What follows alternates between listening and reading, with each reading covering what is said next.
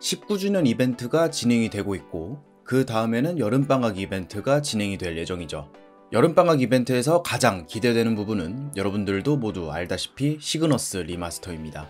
2008년에 출시한 시그너스는 2013년에 개편을 한 번 했었고 거진 10년 만에 remaster가 진행이 될 예정이죠. 모험가 remaster가 진행이 된 것을 생각해보면 skill effect, skill 범위, damage가 변동이 되었고 컨셉을 강화하거나 개편하면서 각 직업의 문제점을 해결하는 쪽으로 진행이 되었죠. 물론 짧은 시간에 14개의 직업을 손보다 보니 잡음이 많았지만 시그너스는 기간도 길고 직업 개수도 적으니까 기대해 볼 만하다고 생각합니다. 자 그럼 시그너스 직업들이 이제 어떻게 바뀔지 한번 이야기를 해볼까요?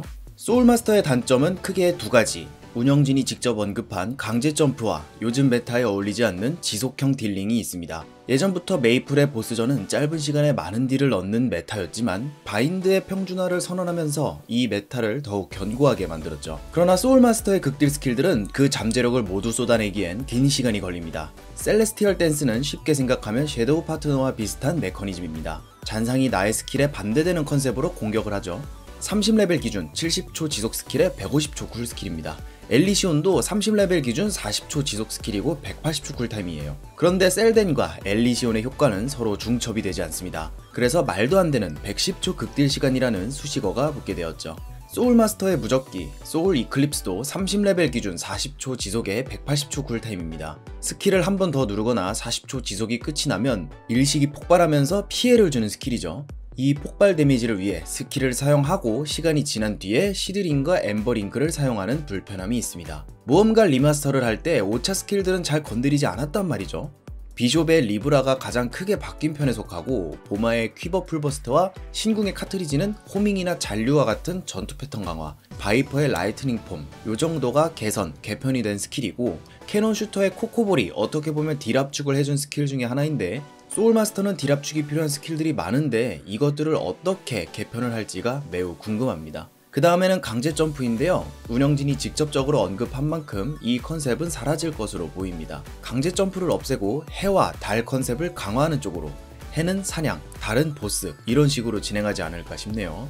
메이플 스토리는 파티원에게 힘을 실어주는 시너지, 보조 역할과 보스에게 딜을 넣는 메인 딜러 이렇게 두 포지션이 있습니다. 그런데 플레임 위자드는 애매한 위치에 있는 직업이죠. 메인 딜러 자리를 차지하기에는 애매하게 딜이 약한 느낌이 있고 플위는 보조 역할이라는 인식이 강하게 박혀 있지만 완벽히 파티원들의 보조 역할을 수행하기에는 어려움이 많이 있습니다. 사실 다른 직업을 데려가는 게 더 좋죠. 버닝 리전이라는 스킬을 사용하면 장판이 생기고 그 위에 서 있는 유저들은 데미지 60% 증가와 공격 속도를 증가시킵니다. 메카닉의 서포트 웨이버는 방무 10%, HP 회복, 최종 데미지 15% 증가 옵션이 붙어있고 은월의 분혼 격참도 최종 데미지가 증가하죠. 배틀 메이지 오라들은 말할 필요도 없고요. 버닝 리전은 장판형 스킬에 쿨타임까지 가지고 있으니 딜링을 함에 있어서 파티원들의 포지션을 강제하는 단점을 가지고 있습니다. 엘리멘탈 플레임 스킬은 오비탈을 사용해야만 마력 증가 효과를 받고 MP 소모량을 극심하게 만드는 스킬 로직, 체력 비례나 상태 이상을 막지 못하는 플레임 베리어나 쓸모없는 하이퍼 스킬인 드래곤 슬레이브 여러모로 5차전 스킬들의 손볼 구석이 많은 직업입니다. 이번 리마스터를 통해 메인 딜러의 자리를 잡아나갈지 보조의 역할을 잡아나갈지가 기대가 되는 직업입니다. 윈드브레이커의 개선안을 찾아보고 들어보는데 제가 생각했던 것과는 다른 의외의 말을 들어서 깜짝 놀랐습니다. 윈드브레이커는 평딜 직업이죠. 평딜 직업은 현 메이플 메타와 정반대에 있다라고 앞서 이야기를 했습니다. 그렇기 때문에 저는 당연히 윈드브레이커도 짧은 극딜기 쪽으로 외치지 않을까 했는데 평딜 직업이지만 몇몇 개선들을 받으면서 좋은 궤도에 올라온 것 같고 극딜 직업으로 바뀌면 플레이 스타일이 바뀔 것 같다는 의견과 그래도 현 메타에 맞게 극딜이 있었으면 좋겠다라는 의견으로 극딜기를 원하는 유저들과 현 상황에 만족하고 있는 유저들로 나뉘어져 있습니다. 많은 윈부 유저들이 말하는 개선안으로는 볼텍스 스피어의 생성 위치와 윈드워크 숨돌리기, 무적기, 사냥기 정도로 좁혀져 있는 것 같습니다. 특히 사냥기에 대해서는 리마스터가 진행이 될 것 같습니다. 페어 리턴이 더 선호되는 시점에서 리마스터를 진행을 하면 스파이럴 볼텍스를 삭제하고 페어 리턴을 강화하는 형태로 진행하지 않을까 싶네요. 이로 인한 코어 강화 시스템에 문제점이 생길 수도 있지만 신궁 같은 경우에는 없어진 코어를 다른 코어로 대체해준 사례가 있는 만큼 충분히 발생할 수 있는 경우라고 생각합니다.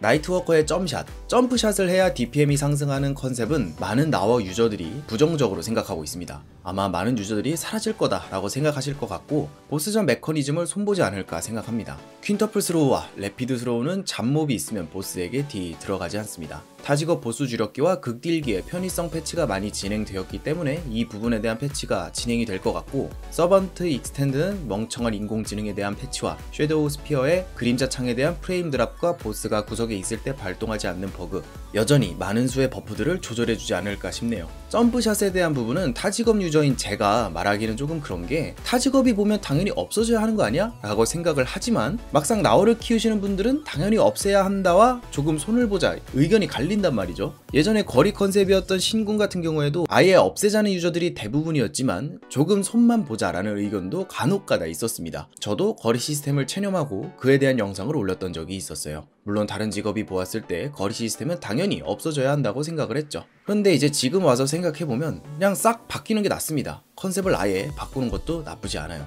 스트라이커의 고질적인 문제였던 연계와 선입력 시스템은 패치를 진행하면서 후딜을 줄이고 캔슬 기능이 생기면서 꽤 괜찮게 진행이 되었습니다. 극딜기나 다른 자잘한 문제들은 손봐주면 더 괜찮을 것 같은데요. 특히 연쇄라는 스킬은 연쇄 공격 시 최종 데미지 20% 증가 효과이지만 버프 형식이 아니기 때문에 연계가 끊기고 나면 효과를 받을 수가 없고 그렇기 때문에 연계를 시작하는 최초의 스킬은 최종 데미지가 들어가지 않습니다. 뇌전 스택의 로직을 손볼 필요도 있어 보입니다.